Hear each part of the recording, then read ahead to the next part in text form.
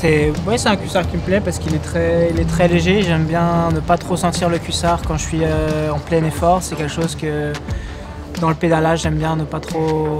Puis à la fois, il est aussi bien taillé, il est, il est aussi aérodynamique. Il, est... il y a une partie qui est comme méchée, donc euh, la jambe respire.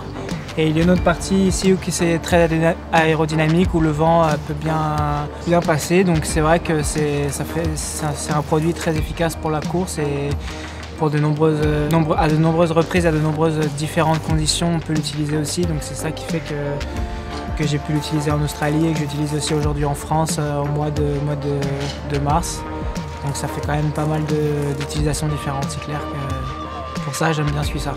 J'ai pas, moi, j'ai pas eu de problème avec la peau de donc euh, la peau de chamois elle est, fidèle au rendez-vous, c'est de la qualité, donc euh, c'est ce que j'espérais euh, en portant les cuissards Casselli et c'est vrai que j'ai pas été déçu sur ce niveau-là.